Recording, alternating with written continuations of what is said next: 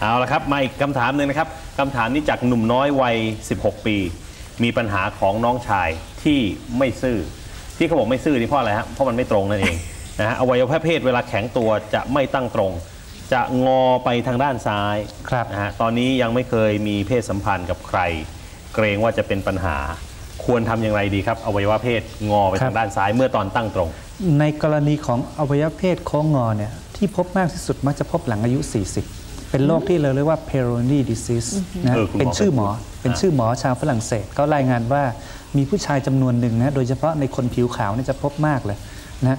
หลัง 40 ปีจะพบได้ประมาณร้อยละ3ถึงร้อยละ5ครับนะฮะก็คือมันจะมีแผลเป็นอยู่ที่บริเวณแกนที่หุ้มองคชาตอืมพอมีแผลเป็นปั๊บเวลาแข็งตัวอ่อนตัวดูไม่ออก อาจจะคลำและคลำได้ก้อน แต่แต่มันจะตรงดี แต่พอแข็งตัวเนี่ยนะเจ็จะพบด้านบน พอแข็งตัวด้านนี้ยืดไม่ได้ มันก็จะโค้งงอขึ้นด้านบน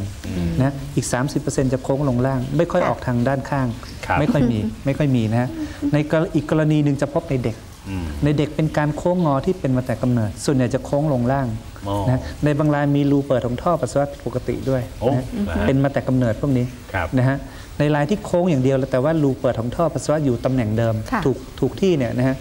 พวกนี้ก็ มักจะโค้งลงล่างนะในลายที่โค้งออกข้างๆ ไม่ค่อยมี ผมเข้าใจว่าในลายนี้เป็นลักษณะเอียงมากกว่า คือพอแข็งตัวแล้วมันไม่อยู่ตรงกลางมันเอียงไปทางด้านใดด้านหนึ่งครับนะซึ่งมันเป็นปกติหรือเปล่าคะเท่าที่ซึ่งปกติมันเป็นอยู่แล้วนะฮะว่าปกตินี่มันมันจะไม่มันจะไม่ตรงมันจะไม่ตรงนะฮะใช่ครับใช่ครับใช่ไหมคะนะคุณฮัทคงจะช่างสังเกตนะฮะอ่าฮะนะฮะพอดีเห็นเป็นน้อง26ปีอะครับน้องเขาอาจจะเพิ่งสังผมเกตใช้ระดับตัวเองน้ำวัดแล้วคุณหมเหรออครับว่ามันเอียงไปเยขอะองเหมือนกันของคุณฮัทหัวเอียงซ้ายหรือเอียงขวาครับผมส่องกระจกอ่ามันซ้ายครับครับอ๋อเป็นหัวอ่าเป็นคนหัวเอียงซ้ายนะฮะ คราวแต่นี้แต่เราถาม operate- ว่า operational ครับใช้งานได้ปกติโอเคครับคราวนี้ถามว่าองคชาตโค้งงอครับไม่ว่าจะซ้ายขวาหรือขึ้นบนลงล่างเนี่ยอืมเมื่อไหร่เราต้องผ่าตัด เราผ่าให้ทุกคนไม่ไหวแล้วฮะเราผ่าให้เฉพาะคนที่หนึ่งมีเพศสัมพันธ์ไม่ได้นะฮะเคยผมเคยเจอเอ่อตอนที่อยู่อเมริกานะมีรายหนึ่งเนี่ยโค้งงอประมาณ 60 องศาขึ้นขึ้นด้านบอนย่างนี้เลย 60 องศาอายุประมาณ 40 มากับภรรยา ผมจำแม่นเลยเพราะว่าภรรยาหัวเราะใหญ่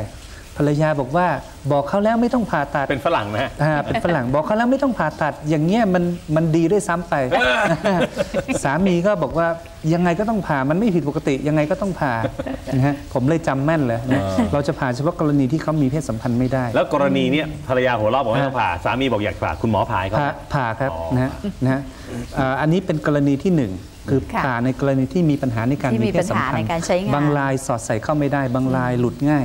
นะฮะอืมกรณีที่สองปวดเวลาแข็งตัวโอ้อันนี้เพราะว่าตอนที่องคชาตอ่อนตัวเราไม่มีอาการครับแต่พอแข็งตัวแล้วมีอาการปวดนะฮะพอปวดเนี่ยบางคนน่าสงสารเพราะว่าองคชาตผู้ชายเราจะต้องมีการแข็งตัวตอนหลับใช่ๆคืนหนึ่งสามถึงห้าครั้ง คืนหนึ่งเขาก็ต้องตื่นวันหนึ่งหลายครั้งอะนะพอมันแข็งเมื่อไหร่ก็ต้องตื่น แข็งเมื่อไหร่ก็ต้องตื่น อันนี้เป็นโอ้เป็นกรณีที่น่าสงสารคครัรับบครับค่ะอ่า แต่ฟังดูลายฟังดูน้อลายนี้ผวัยมว่ารุ่นน่าจะเอียงมากกว่าน่าจะเอียงครับซึ่งก็พบได้เป็นปกติปกติครับไม่น่าจะต้องกังวล ถ้าไม่มีปัญหาในการมีเพศสัมพันธ์ไม่มีปัญหาเรื่องเจ็บปวดปล่อยมันเถอะครับ เนื่องจากว่าน้องเขาอายุยังน้อยอายุ 16 แล้วเขาครับบอกว่าของเขาเนี่ยดูไปดูมาท่าทางจะเอียงซ้ายครับแล้วก็เลยกลัวว่าจะมีปัญหาในการมีเพศสัมพันธ์ครับแต่เขายังไม่เคยมีคุณหมอใช่แนะครับนำไงดีครับ คิดว่าไม่ต้องไปวิตกกังวลอะไรนะฮะตอนนี้เพราะว่านะมันจะเอียงซ้ายเอียงขวาซึ่งเป็นธรรมชาติของคนเราอยู่แล้ว แล้วก็สามารถมีเพศสัมพันธ์ได้ตามปกตินะครับเพียงแต่ว่าอย่าไปเอียงเป็นทางคอมมิวนิสต์แล้วกันเอียงซ้ายแบบนั้นนะนะฮะอันนั้นอาจจะมีปัญหาแน่ครับเดี๋ยวนี้เขาเปลี่ยนเป็นทุนนิยมหมาแล้วคุณหมอ๋ออแล้วครับ